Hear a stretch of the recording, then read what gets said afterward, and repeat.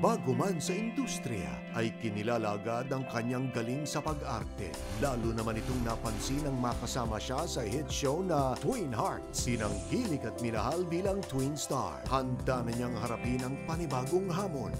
At ngayon, sa kanyang unang lead role, Jack na aabangan ang kanyang pag-usbong bilang serious drama actress. Si Luis de los Reyes ang Alakdana.